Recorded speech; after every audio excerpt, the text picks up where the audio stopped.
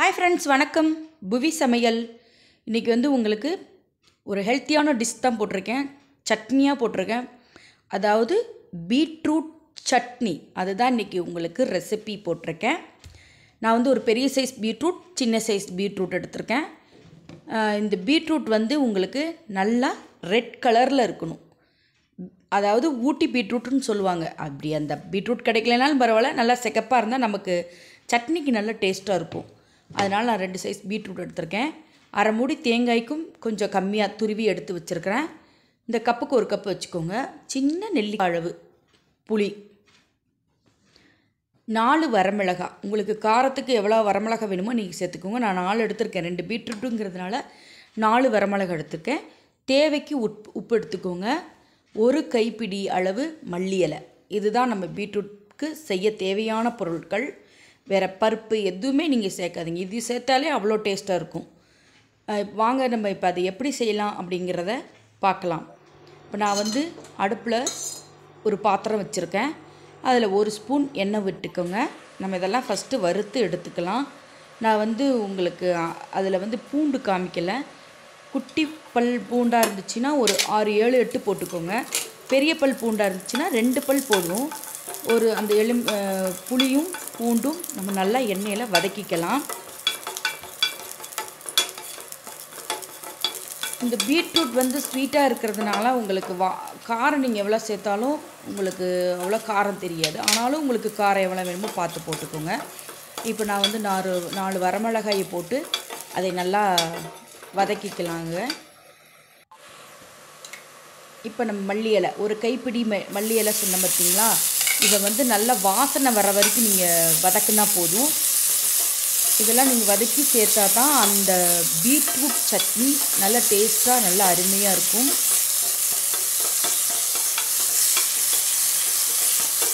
இப்படி நல்லா வதக்கிக்கோங்க. இப்போ நம்ம வந்து தேங்காய் சேர்த்துக்கலாம். நம்ம சேனல் சப்ஸ்கிரைப் பண்ணாமல் பார்க்குறீங்க சப்ஸ்கிரைப் பண்ணுங்கள் அப்படியே சேனல் பார்க்குறவங்களாம் ஸ்லோவாகிடுச்சு சேனல் பாருங்கள் நல்ல நல்ல டிஷ் போட்டிருக்கு. இப்போ தேங்காய் போட்டுட்டேங்க. தேங்காய் வதக்கிக்கோங்க.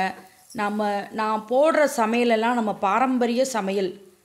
அதை நீங்கள் பாருங்கள் உங்களுக்கு புரியும். இப்போ நான் தேங்காய் வரமிளகாய் மல்லி இலை புளி பூண்டு இதை வதக்கி அதை தனியாக ஒரு ஓரத்தில் எடுத்து வச்சுக்கலாங்க. இப்போ நம்ம வந்து நல்லா ஒரு ஸ்பூன் ரெண்டு ஸ்பூன் எண்ணெய் ஊற்றி பீட்ரூட்டை நல்லா வதக்கி எடுத்துக்கலாம். அப்போ தாங்க அந்த பீட்ரூட் உள்ள பீட்ரூட்டில் இருக்கிற அந்த பச்சை வாடை அந்த கொஞ்சம் அந்த இதெல்லாம் போய் உங்களுக்கு சட்னி செய்யும்போது நல்லாயிருக்கும் இந்த சட்னி வந்து நல்ல ஒரு ஹெல்த்தியான சட்னிங்க. நம்ம குழந்தைங்க வந்து நீங்கள் பீட்ரூட்டாக கொடுத்தா சாப்பிட மாட்டாங்க. இந்த மாதிரி நீங்கள் சட்னி செஞ்சு கொடுங்க. நல்லா இது இதே மெத்தடில் நீங்கள் செஞ்சீங்கன்னா நல்ல டேஸ்ட்டாக இருக்கும். செம்ம டேஸ்ட்டாக இருக்குங்க. இப்போ நம்ம பீட்ரூட்டை வந்து அந்த பீட்ரூட்டில் கொஞ்சம் தண்ணி இருக்கும். அந்த தண்ணியெல்லாம் வெளியே வர வரைக்கும் ரொம்ப வதக்கணும்னு அவசியம் இல்லை. அந்த பீட்ரூட் கொஞ்சம் அந்த பச்சை வாடை போகிற வரைக்கும் நீங்கள் வதக்குனா போதும். இவ்வளோதாங்க நீங்கள் வதக்கணும்.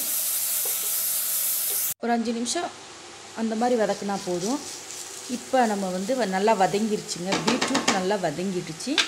இப்போ நம்ம இந்த ஸ்டேஜில் நம்ம எடுத்து வச்சோம் பார்த்திங்களா இந்த வரமிளகாய் மல்லி இலை தேங்காய் துவல் பூண்டு புளி இதெல்லாம் எல்லாம் ஒட்டுக்கா எல்லாம் ஒன்றா போட்டு நீங்கள் நல்லா ஒரு வதக்கு வதக்கி எடுத்துருங்க. அவ்வளோதாங்க நம்ம பீட்ரூட் சட்னிக்கு தேவையானது. இதுதாங்க சிம்பிள் ஈஸி வெரி டேஸ்டியாக இருக்கும். நீங்கள் தேங்காய் சட்னி அந்த மாதிரிலாம் சாப்பிட்றதுக்கு இப்படி டிஃப்ரெண்ட் டிஃப்ரெண்ட்டாக நீங்கள் செஞ்சு சாப்பிடுங்க. இப்போ நம்ம வந்து இப்போ வந்து இப்படி தாங்க நல்லா வந்து நீங்கள் வெளியே எடுத்து ஆற வச்சிருங்க.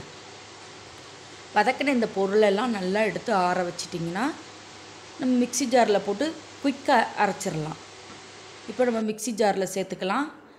இப் இப்போ நீங்கள் வந்து உப்பு போட்டுக்கோங்க. வதக்கும் போதெல்லாம் நீங்கள் உப்பு போடாதீங்க. இந்த ஸ்டேஜில் நீங்கள் வந்து உப்பு போட்டுக்கோங்க.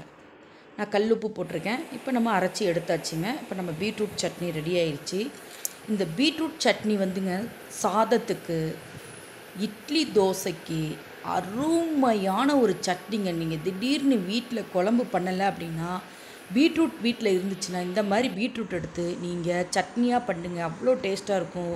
குழந்தைங்களுக்கு கொடுக்க. இதில் நல்ல ரத்தம் வந்து நமக்கு அயன் வந்து நிறையா இருக்கும் இதில். நம்ம சேனலை சப்ஸ்கிரைப் பண்ணுங்கள் லைக் பண்ணுங்கள் ப்ளீஸ் லைக் பண்ணுங்கள் ஷேர் பண்ணுங்கள் கமெண்ட் பண்ணுங்கள் உங்களுக்கு நல்ல நல்ல சமையலாம் உங்களுக்கு நான் நிறைய போடுறேன். நன்றி. வணக்கம்.